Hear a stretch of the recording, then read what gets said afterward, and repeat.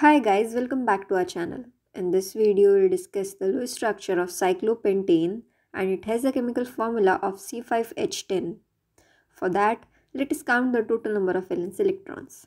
We have 5 carbon atoms having 4 valence electrons and 10 hydrogen atoms having 1 valence electron. That gives us a total of 30. Now cyclopentane is a compound of cyclocompounds in organic chemistry. And as the name suggests, there will be a loop-like structure and carbon, carbon atoms here will be arranged in such a way that they form a loop. Now we know that carbon can form maximum of 4 bonds and here each carbon atom has formed 2 bonds with adjacent carbon atoms. So we'll attach 2 hydrogen atoms to each carbon atom. After doing that, we will place electron pair in between each atom for bond formation. So let us go ahead and do that.